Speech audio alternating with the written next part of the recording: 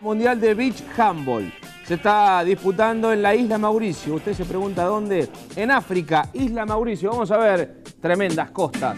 Allí en el continente africano, allí se lleva adelante el Mundial de Beach Handball, donde hay representación provincial.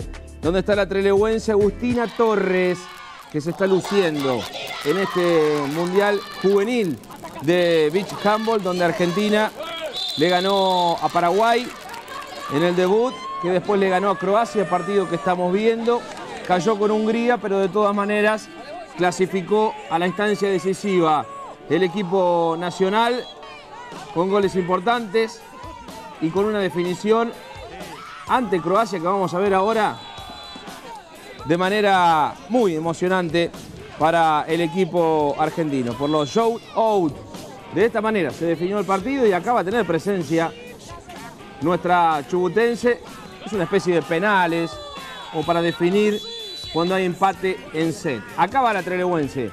Ahí la vemos con casaca rosa, la casaca de la selección argentina y buena definición, ¿eh? con una buena pirueta por arriba de la defensora croata. Vale, la repe.